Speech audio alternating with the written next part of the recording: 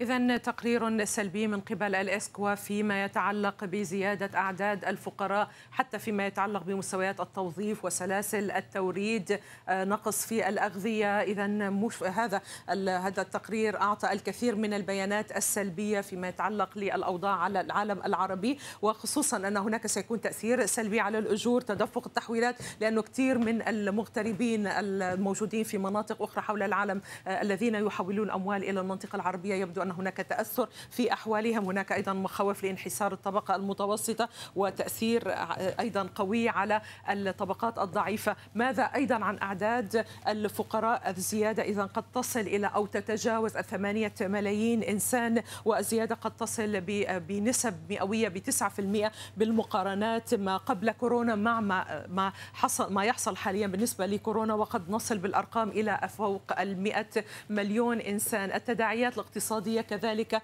تقول بأن هناك ارتفاع في مستويات الفقر انحسار الطبقة المتوسطة انعدام الحد الأدنى من الحماية الاجتماعية وهذا الأمر على الدول. يعني هذا ما تحاول الكثير من الدول العربية أن تركز عليه للحد من تطور مستويات الفقر. انعدام أيضا التأمين ضد البطالة وهذا من الأمور أيضا التي يمكن أن تفاقم هذه الأمور بشكل سلبي. وارتفاعات حالات نقص التغذية في العالم العربي للأسف إذا قد تصل هذه الأرقام إلى حدود تتجاوز إذا المئة أو المليون إنسان. إذا زيادة فيما يتعلق بالتداعيات الاقتصادية كذلك انخفاض الصادرات الغذائية من البلدان المنتجة بسبب تعطل الكثير من الرحلات الجوية وحتى في تعطل الكثير أيضا من رحلات الشحن نتيجة تأثر سلاسل التوريد وخصوصا حتى فيما يتعلق بطريقة أيضا عملية الحجر الصحي وعملية الإغلاق. أيضا يبدو أنها تمنع الكثير من العمال لأن يذهبوا إلى أراضيهم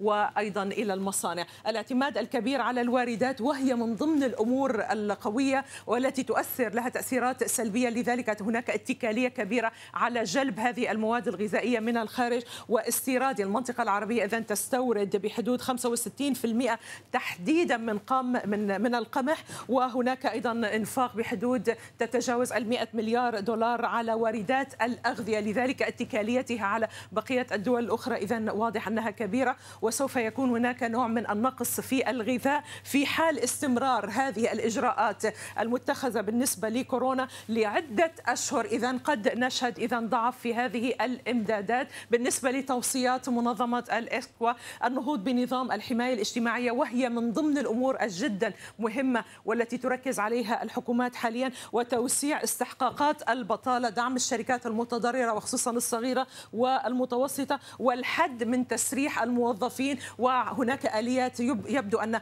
بعض الشركات تحاول أن تلجأ إليها للحد من هذا التسريع زيادة الإنفاق الحكومي على المشاريع القائمة على كثافة اليد العاملة وهذا على الأقل يمكن أن يستوعب المزيد من العمالة. فيما يتعلق ببعض الدول التي لديها أيضا تفرض عليها عقوبات وهناك نوع من التوترات التوترات في هذه البلدان مثل سوريا اليمن وليبيا اللجوء إلى عملية تهدئة الأوضاع في هذه البلدان وإنشاء صندوق إقليمي للتضامن الاجتماعي كخدمة الفقراء وأيضا الفئات الضعيفة وهي من الأمور أيضا التي بدأت أيضا الأصوات تعلو باتجاهها الإيقاف المؤقت لخدمة الديون السيادية وتحرير احتياطيات العملة الأجنبية للبلدان النامية. هذا فيما يتعلق بالبيانات التي أوردها تقرير الإسكوا. إذا واضح أنه يلجأ إلى الكثير من البيانات السلبية خصوصا إذا ما استمرت الإجراءات للحد من كورونا لوقت أطول.